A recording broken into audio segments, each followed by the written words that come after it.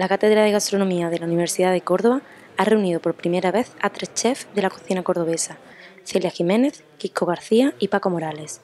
En una mesa redonda, los cocineros han explicado su punto de vista sobre la cocina de autor y cómo se interrelaciona con la ciudad de Córdoba este era uno de los objetivos que teníamos como una de las actividades, reunirlos a los tres. Lo hemos conseguido y, bueno, la verdad que estamos muy satisfechos de la respuesta que ha habido.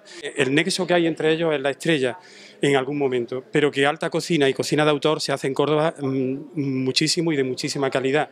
No podíamos traerlo a todos, entonces el criterio ha sido el nexo de la estrella Michelin. Bueno, pues es la primera vez que los tres juntos nos sentamos en una mesa de, debate, a pesar de que bueno, realizamos otro tipo de actividades.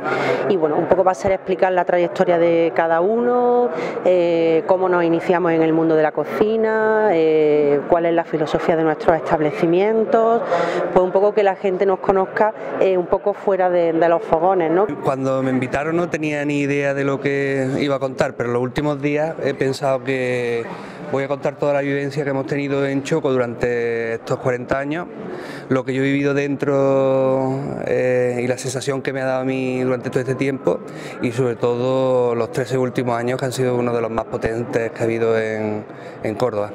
Y lo que vamos a mostrar un poquito es la parte más dura ¿no? de, la excelencia y del éxito, ¿no? que es complejo. ¿no? Una, gestionarlo y dos, que no es un camino de rosas, ¿no? como puede parecer ¿no? desde fuera. ¿no? Los tres chefs, unidos por la estrella Michelin con la que han sido reconocidos, han participado en esta mesa redonda con un objetivo claro, dar a conocer el lado que no se ve tras los fogones, aquel que subyace entre el esfuerzo por lograr siempre la excelencia.